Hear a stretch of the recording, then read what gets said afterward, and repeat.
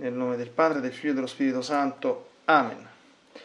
Gesù ti amo con la tua volontà, vieni divina volontà a pregare in me e poi offri questa preghiera a te come mia per soddisfare le preghiere di tutti e per dare al Padre la gloria che dovrebbero dargli tutte le creature.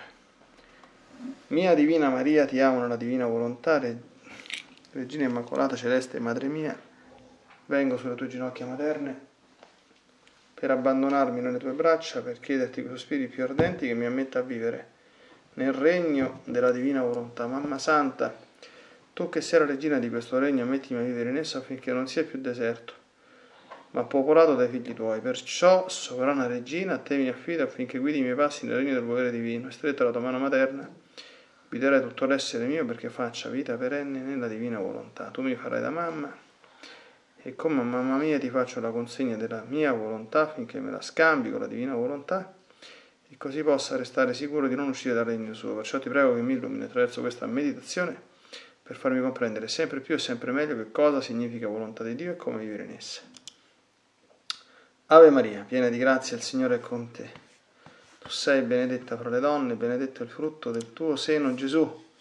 Santa Maria, Madre di Dio, prega per noi peccatori, adesso e nell'ora della nostra morte. Amen.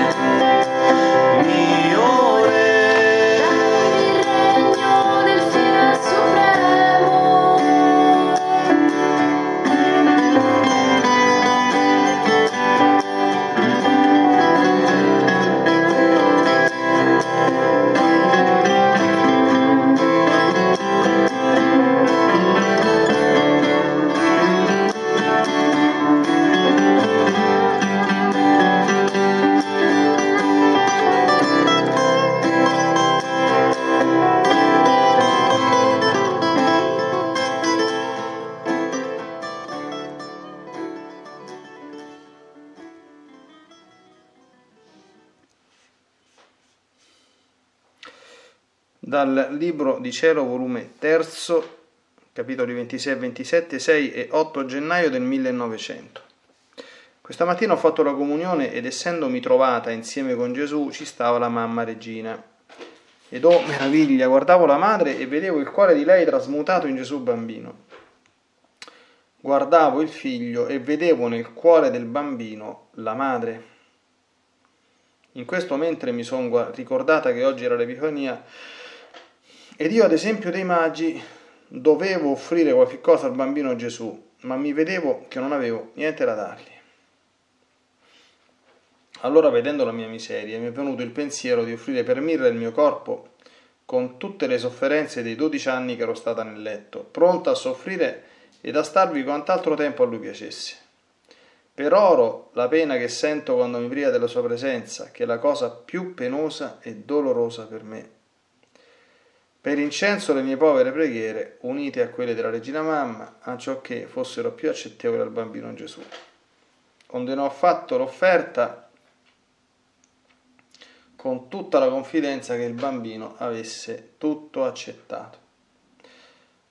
Gesù pareva che con molto gusto accettasse le mie povere offerte, ma quello che più gustava era la confidenza con cui l'avevo offerta, onde mi ha detto la confidenza ha due braccia.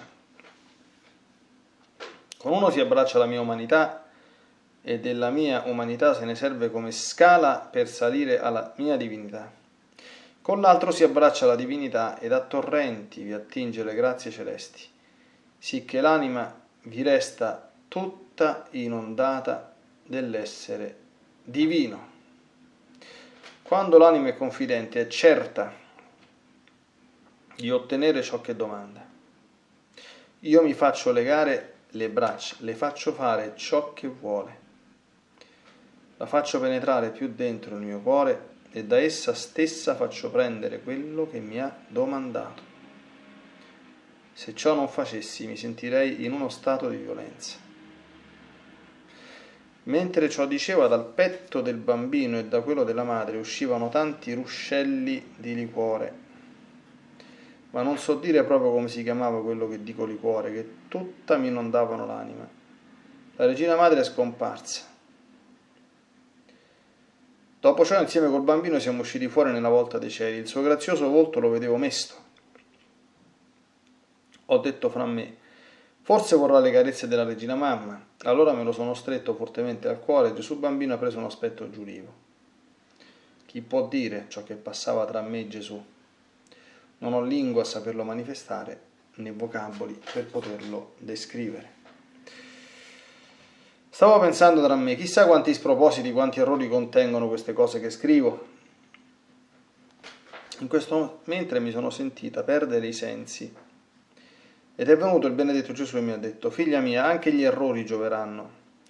E questo a far conoscere che non c'è nessun artifizio da parte tua, né che tu sei qualche dottore, che se ciò fosse tu stessa avresti avvertito dove erravi.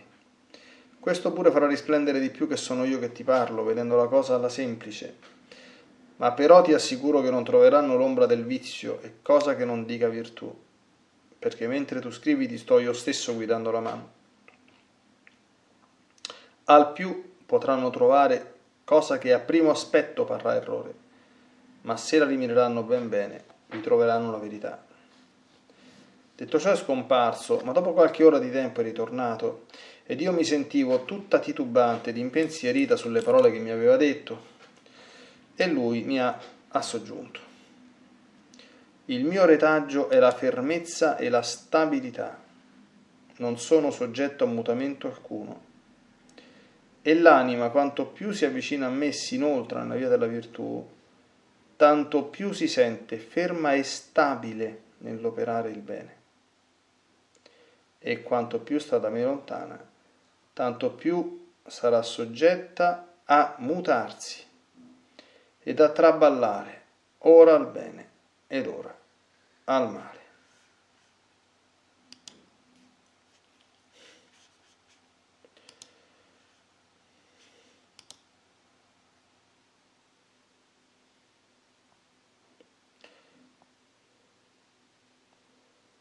Sono bellissime queste due, questi due capitoli, queste due fonti di, di meditazione. Bellissimi, affrontano tanti temi, mh, mm, di cui certamente ce ne sono alcuni dominanti e importanti, specialmente per chi percorre la via ordinaria di santificazione, che è la preparazione, dovremmo aver capito, al dono della divina volontà, che è appunto una forma sublime, divina e unica di santità e che la presuppone come, come base. Allora, qui innanzitutto ci sono dei misteri molto importanti, che è un po' la, la premessa da approfondire. Guardavo la madre e vedevo il cuore di lei trasmutato in Gesù bambino. Attenzione però che guardavo il figlio e vedevo nel cuore del bambino la madre. Cosa significa questo? Significa che la quintessenza della santità, di cui la Madonna come Regina dei Santi è l'emblema, il modello e l'esempio straordinario, non è altro che la trasformazione del nostro cuore in quello di Gesù. E c'era un grande padre della Chiesa orientale, che è San Giovanni Crisostomo, che era devotissimo dell'Apostolo San Paolo, che amava definire l'Apostolo in questi termini, il cuore di Paolo era il cuore di lui, cioè di lui inteso come Gesù, l'Apostolo preso da, dall'amore verso Gesù e dallo zelo, era diventato un altro Gesù, come lui stesso ebbe a scrivere, tra l'altro, nelle sue lettere, non sono più io che vivo, ma Cristo vive in me. Quindi questo vuol dire che la madre aveva il cuore di lei trasmutato in Gesù bambino. Però attenzione, guardavo il figlio e vedevo nel cuore del bambino la madre. Quindi vuol dire che eh, nel cuore di Gesù la creatura assolutamente prediletta è la Madonna, in quanto piena di grazia. E quindi, come dicono i maestri di spirito, che la devozione alla Madonna è un segno di predestinazione perché non può non essere sommamente devoto alla Madonna chi è unito a Gesù, è impossibile. Perché se il tuo cuore si trasforma nel cuore di Gesù, certamente nel tuo cuore ci sarà viva e presente la Madonna. Non solo, ecco, la Madonna può e deve, ed è auspicabile che sia, essere colei da cui ci facciamo portare nel cuore stesso di Gesù, perché nessuno come lei vi abita e nessuno come lei meglio lo conosce. Questa è la premessa. Poi c'è l'episodio proprio del giorno dell'Epifania, ecco, di questa triplice offerta di, di Luisa, no? Le sofferenze a cui la divina volontà la chiamava, quindi l'infermità di già 12 anni, allora eh, se ne sarebbero stati molti altri nel letto. L'oro, quindi la, la penitenza più grande, l'abbiamo già visto tante volte per queste anime, che è la privazione della presenza di Gesù, e poi l'incenso che è la preghiera unita a quella della Madonna. Dopo che Gesù ha accolto queste offerte, mostrandosi molto eh, felice di esse, fa la sua lezione sulla confidenza. Ecco, confidenza, confidente, viene da fidente, quindi c'è la stessa radice di fede. Ecco. Fides cum sarebbe etimologicamente, quindi credo insieme. La confidenza permette di penetrare ecco, dentro il cuore stesso di Gesù ed è come dire il compimento ultimo della, della fede, perché per mezzo della fede noi anzitutto facciamo nostre delle notizie, delle informazioni, delle verità, come insegna la Chiesa, che ci trascendono, no? quindi innanzitutto la fede parte come fenomeno intellettuale, d'accordo? perché è l'assenso dell'intelletto mosso dalla volontà che lo spinge a farlo nonostante la non evidenza delle verità, in quanto autorevole e senza errore colui che rivela, che è Dio. Quindi nella, nella, nella fede parte un processo mm, anzitutto ecco, volitivo intellettuale. Però la fede poi deve scendere nel cuore, perché eh, quella fede non può e non deve rimanere una arida e fredda conoscenza capite, di, di, verità. No? Questo è quello che dice l'Apostolo San Giacomo. Dice tu c'è la fede, pure il demonio c'è la fede. La, la, la fede che c'è il demonio è molto più grande della, della nostra, perché lui le verità di fede non solo che le crede fermamente, ma le conosce tutte, quindi ne sa anche penetrare l'intima verità. Ecco, ma il diavolo non ha le opere, ovviamente, no? Che è il primo passo, diciamo così, del compimento della fede. San Giacomo stesso dice che la fede senza le opere è morta, che tu credi e non vivi coerentemente con quello che credi è una fede completamente vanno, ripeto, a una fede simile a quella del, del demonio. No? Ecco, eh, I credenti non praticanti ecco, sono simili al diavolo, ecco, perché eh, ne riproducono eh, lo stile, no? quello appunto di credere senza operare. Credere e non praticare vuol dire appunto non praticare la fede, ecco, che è già una contraddizione in termini, ma quando il percorso è ordinario, quindi alla fede seguono le opere e alle opere segue una profonda e progressiva confidenza in Gesù che si alimenta ovviamente attraverso la preghiera. Perché se il giusto vive di fede, progressivamente comincerà ad intessere un tale rapporto intimo con Gesù appunto da diventare lui il suo migliore amico. Questa è un'altra base imprescindibile per la vita nella divina volontà, come sappiamo, che è tutta interiore e che è tutta vissuta in questo perpetuo, ininterrotto dialogo di offerta, di amore, di ringraziamento, di supplica, di tutto, ecco, non c'è più nulla ecco, che non entri dentro questo dialogo non sempre esplicito ma comunque sempre ininterrotto come un filo collegato alla sorgente di corrente tra l'anima e il suo Signore. Ecco. E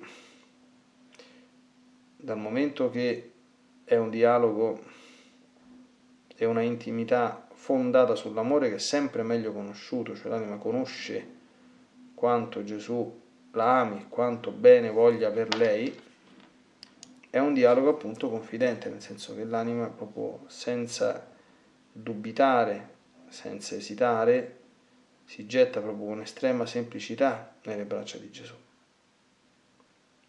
Dobbiamo subito chiederci, insomma, attenzione che questa è una confidenza santa, non è la confidenza grossolana, ecco, di quelli che vanno dicendo che Dio è nostro amico e quindi non serve ginocchiarsi davanti al tabernacolo, non, questo non ha niente a che vedere con la, con la confidenza santa, no? La confidenza santa a questo ambiente, appunto Gesù spiega, no? Eh, un, un, un, duplice, un duplice termine di, di riferimento, no? che è l'umanità di Gesù, che la si abbraccia appunto come scala per salire alla sua divinità, sia imitandola, sia utilizzandola come fonte di mediazione, no? E con l'altro si attinge alla divinità ed a torrenti vi attinge le grazie celesti. Quindi siccome Gesù è Dio, attraverso la confidenza io chiedo, come dice Giù nel Vangelo, quando chiedete una cosa fate come se l'aveste già ottenuta e quella cosa vi sarà data anche quando sono grosse domande, grosse richieste. Non solo, la, la, la, la confidenza fa penetrare sempre più Gesù nel suo cuore, addirittura fa, fa, le faccio fare quello che vuole. Cioè, quando si diventa veramente amici intimi del Signore, si assistono a delle a delle cose, insomma, si assiste a delle cose che sono assolutamente eh, anomale, inedite, ecco, perché come raccontano i maestri di spirito, Gesù stesso vuole concedere all'anima la libertà di fare quello che vuole. Quindi vedete che succede quando si fa la volontà di Dio? Quando si fa la volontà di Dio, Dio, come dire, asseconda la nostra perché succede una sorta di anticipazione certamente alla lontana di quello che accade nel paradiso. No? Non so se, se, qualcuno ci ha mai pensato, ma noi in, paradiso faremo sempre la nostra volontà. Come in paradiso faremo, cioè bisogna capire il senso di questa espressione, no?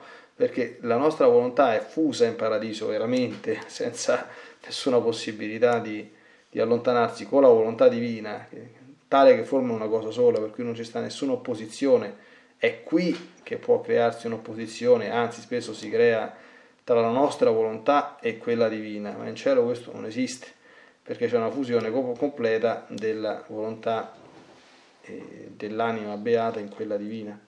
E quindi che significa che tutto quello che tu vuoi è buono ed è voluto ipso facto da Dio. Queste cose si capiranno bene quando si, si vivranno, no? E quindi anche se si fa sempre la volontà di Dio, in realtà si fa sempre la volontà tua quando Gesù dice le faccio fare quello che vuole, è chiaro che Gesù, supponiamo, una cosa pazzesca, no? Ecco, se l'anima volesse peccare che glielo fa fare? Certamente no, le fa fare quello che vuole perché a questo grado di confidenza l'anima non può distaccarsi considerevolmente dalla volontà di Dio. Ed ecco, diciamo, la bellezza eh, più desiderabile di questo stato di unione con Gesù, no?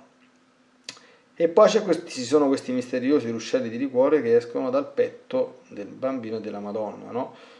Queste cose sono conosciute, anche queste in mistica, ne parla esplicitamente Santa Margherita quando racconta l'esperienza del, dello stare a contatto con la ferita aperta del cuore di Gesù, no? parla di questo liquore dolcissimo e buonissimo che lei stessa beve a larghi sorsi e per molto tempo, che chiaramente racchiude sicuramente un liquore, un liquore reale, eh, quindi sensibile, eh, come il latte della Madonna, eh, di cui molto spesso era piena la bocca di Gesù, come ci informa Luisa, che però, ecco, oltre a quel profondo, diciamo così, piacere anche sensibile che ti arrega entrarne in contatto, delizia in maniera a noi non comprensibile l'anima.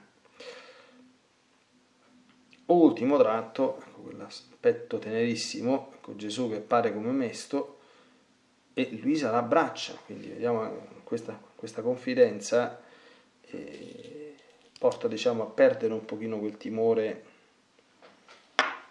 mm, come dire, eccessivo. L'anima non diventa, ma non perde mai completamente il timore riverenziale, quindi il senso di stare alla presenza di Dio. Ecco, però in nome dell'amore ordinato e confidente, capisce al volo, ecco, diciamo così, eh, le disposizioni addirittura di Gesù e, e, desiderando Gesù da noi nient'altro che amore, compie dei gesti, questo è un gesto materno, no? quindi eh, lui fa un ufficio di sostituzione vicaria nei confronti della Madonna e Gesù attenzione non accetta, eh? quindi non è che dice che vuoi tu, voglio queste, non fare queste cose, queste cose sono riservate alla Madonna, no no, lo accetta. Ecco, questi sono squarci di cielo però riteniamo bene noi il discorso sulla fede, sulle opere e sulla confidenza profonda che è fondata appunto sull'amore, che è l'ultimo atto, diciamo così, in cui la fede sviluppandosi si compie e a cui dobbiamo tendere. Poi c'è il secondo capitolo, ecco che dopo eh, la spiegazione di Gesù sui timori di Luisa di scrivere come lei soleva dire spropositi, spiega, quindi Gesù parafrasa le parole di San Paolo che Dio ha scelto ciò che nel mondo è nulla per ridurre a nulla le cose che sono, no? L'inadeguatezza degli strumenti è sempre mh, una costante nell'agire di Dio che serve a dare la dimostrazione perpetua e vivente del fatto che quelle cose non sono farina del sacco di chi scrive. E, e qui tutti quanti devono essere, cioè, mm, questo ci ricorda anche che il nostro Signore eh, quando agisce non lo fa in maniera scriteriata, tutt'altro, insomma, cioè Dio l'intelligenza stessa. Cioè, eh, è vero che il Signore ci lascia sempre liberi, ma è anche vero che ogni uso della libertà, attenzione, è mm, estraneo o contrario a quelli che sono i divini voleri, è sempre profondamente irragionevole, da stupidi, da stolti. E questo nostro Signore, come dire, si mette in condizioni di poterlo dimostrare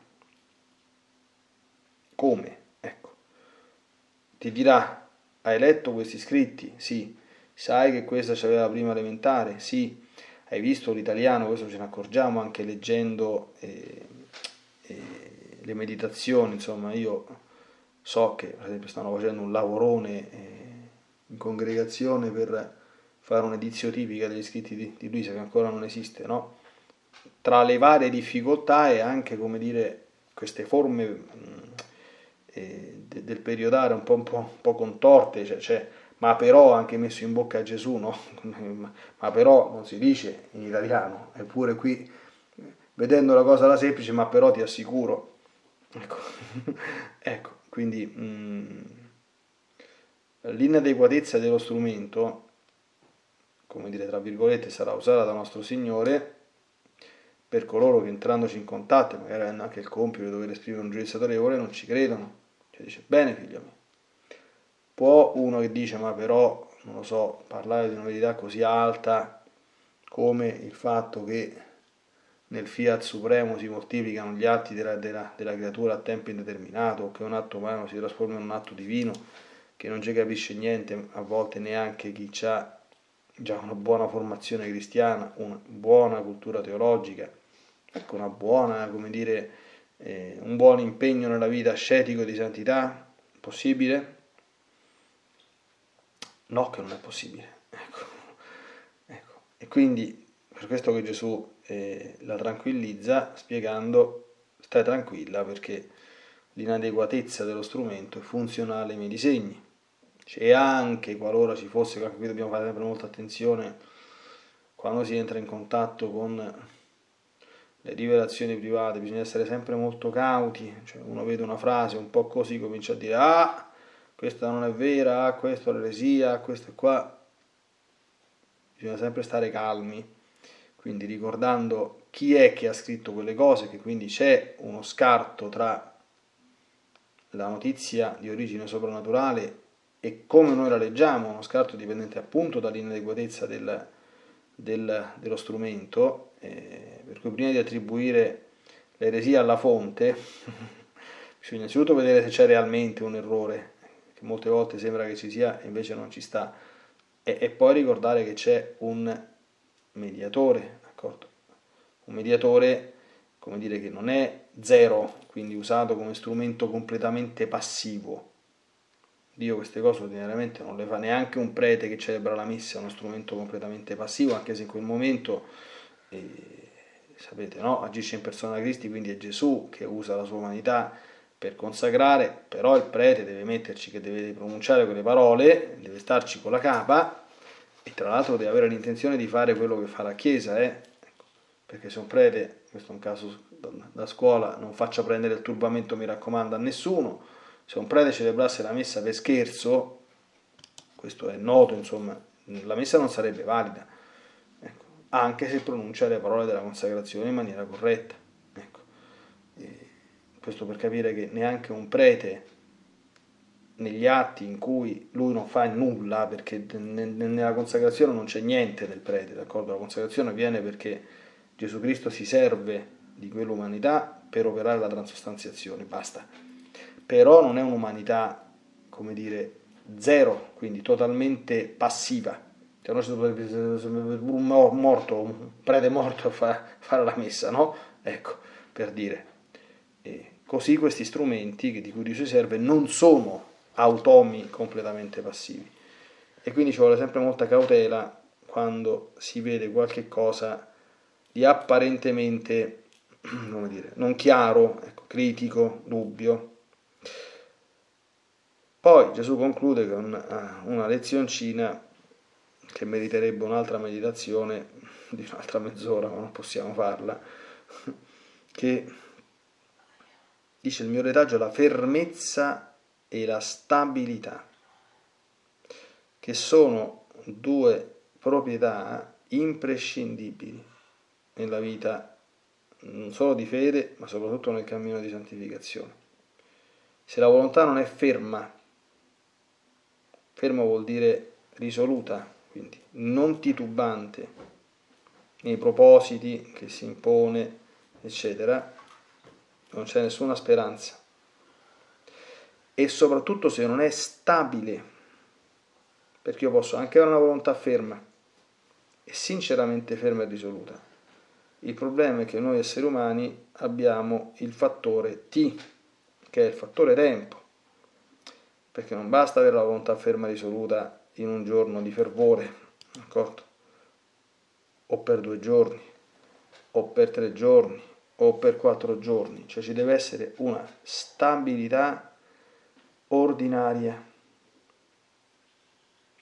altrimenti non si raggiunge nessun obiettivo interiore, nessuno, perché si fanno eh, One Step Up, cantava una canzone di un noto cantatore americano negli anni scorsi, e Two Steps Back, un passo avanti e due indietro. Ecco, un passo avanti e due indietro sappiamo che non si progredisce ma si regredisce.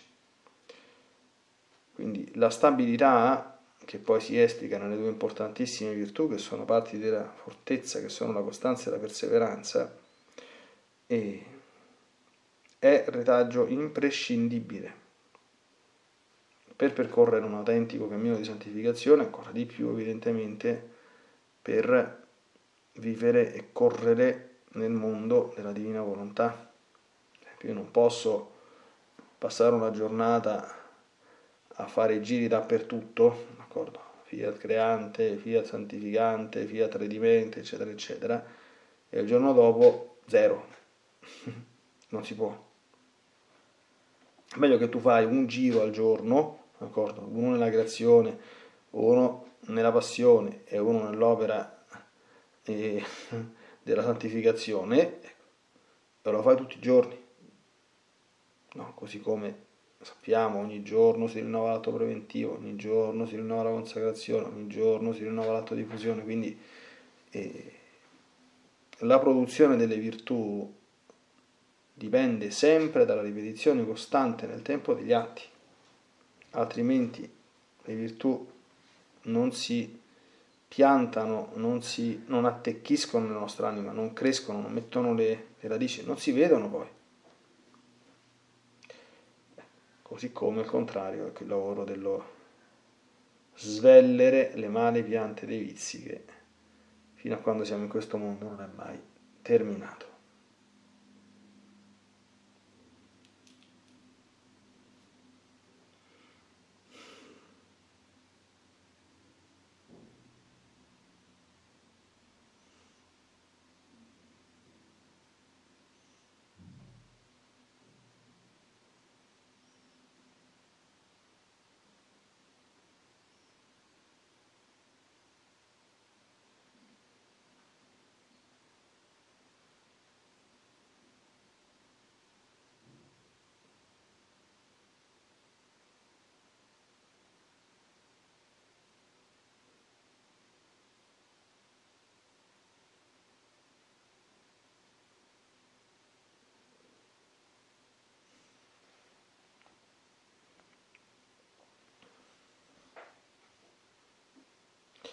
O Divina Maria, abbiamo iniziato questa meditazione contemplando il tuo cuore trasformato in quello di Gesù, bambino, e, e vedendoti viva nel cuore di Gesù che tanto ti ama. La confidenza che tu avevi in Lui era assolutamente unica, irraggiungibile ed inimitabile così come l'hai vissuta tu, ecco. e nessuno più di te sa quanto è vero che un'anima confidente Gesù le fa fare quello che vuole, ecco. e tu lo sai molto bene. Aiutaci a giungere a questo termine ultimo di ciò che inizia a noi con la fede. E perché possiamo far felice anzitutto il cuore di Gesù, questo deve essere sempre la motivazione primaria delle nostre azioni, che si compiace delle anime che si fidano e che confidano in Lui ed anche da Lui così largamente ecco, ricevere tutto ciò di cui abbiamo bisogno. Concedici anche la, una grande fermezza e risolutezza di, di volontà e una grande stabilità le cose che tu raccomandi di fare, no?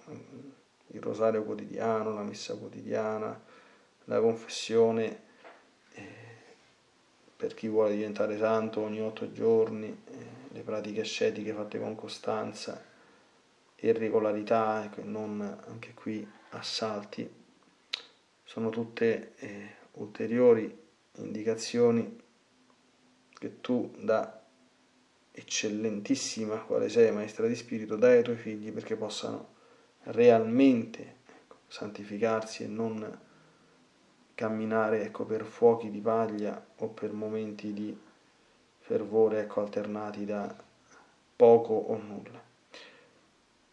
Aiutaci sempre al nostro fianco, volgi i nostri occhi verso il tuo esempio e aiuta le nostre anime sempre con la tua intercessione.